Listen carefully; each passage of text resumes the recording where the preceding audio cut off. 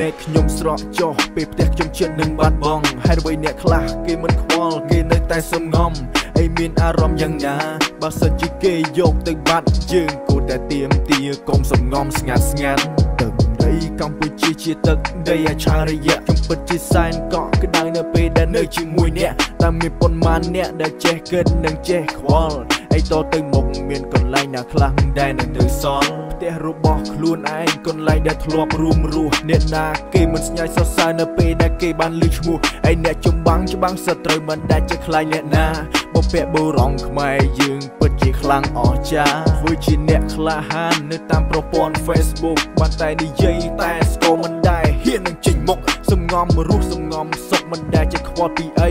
អីគួរតែភ្ញាក់រលឹកឡើងឲ្យក្លា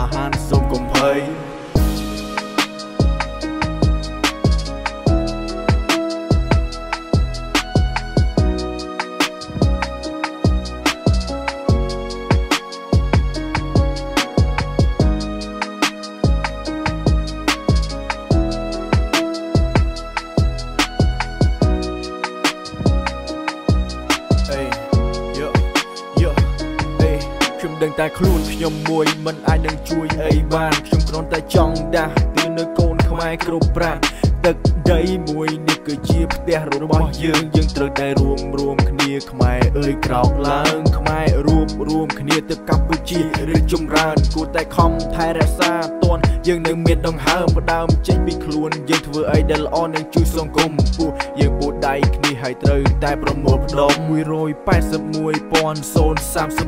181.035 ហើយកូនខ្មែរក្រុមគ្នាយើងត្រូវតែចងចាំហើយចាំមកច្បាំងកុំក្រឡាស់សូមកុំភ្លេចឲ្យសោះឯត្រូវចំណាំចាំរហូតដល់ជីវិតនេះត្រូវអស់របស់ដែលដូនតាខ្មែរដែលគាត់បានមិនសល់ទុកបើមានសត្រូវមកឆ្លៀនពៀនយើងត្រូវតែវាយសម្រុកបណ្ដេញចោលឆ្លៀនពៀនត្រូវហ៊ានវាយកុំតិចបើសិនជាយើងខំប្រឹងព្រះនឹងតាមជួយ